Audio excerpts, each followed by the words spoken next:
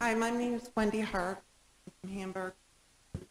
Um, I just wanted to talk about, I don't know what the big deal is about this. Uh, I'm trying to get over the stigma, everybody needs to get over the stigma that's attached to this plant. It's, uh, there's so much prophecy that people are smoking it everywhere, yet it's still illegal. Compassionate Care Act has failed. I've been trying since January. Um, I still am jumping through hoops and trying to get the medicine that I need. Um, but yeah, if this was something other than cannabis, if it was a different plant, call it um, Saint Mary Jane's wort or something, some new plant that had the healing properties, um, you know, that maybe Dr. What's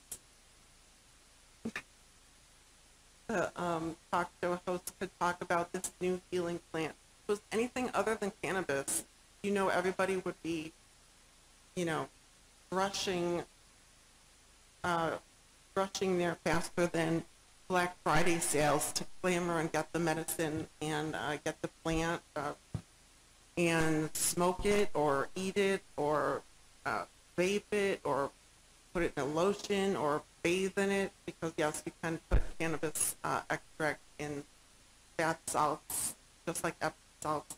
There's so many things that can be done with this plant, and it's our right to have this plant. Uh, it should be rescheduled, yes. The federal government doesn't want to listen.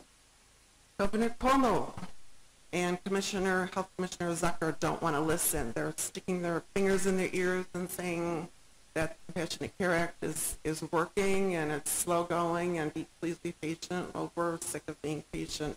There's still kids out there that are having seizures, life-threatening seizures every single day that don't have this medicine.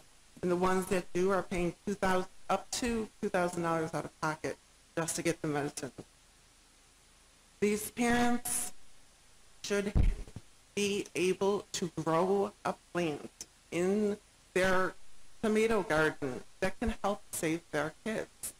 That aside from from the medical aspect of it, um, I'm trying to get past the stigma. My kids, nine-year-old twins here, they know all about it. They've seen everything on the news. They watch the documentaries with me. They've seen the Colorado, um, you know, the growth in Colorado, all the all the products that are available, such as the um, the edibles and so forth, and everything that is available in other states that are legalizing. And they also see me with fibromyalgia, post uh, chemo issues, and many fatigue issues. They mostly see me in bed every day. They see me in more in bed than out of bed.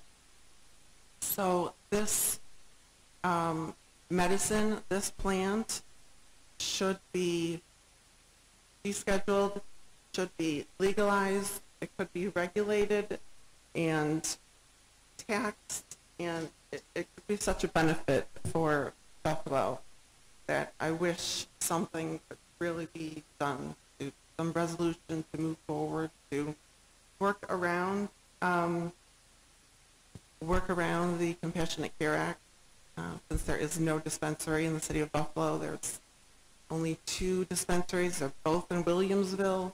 Um, I'm wondering if something can be done through the city charter to maybe encourage some other growth, along with decriminalizing, um, you know, uh, encourage some other type of legalization for personal use and get over the stigma. Everybody needs to get over the stigma it, it's just a plant, and most people smoke it and don't admit it. So let's get past that.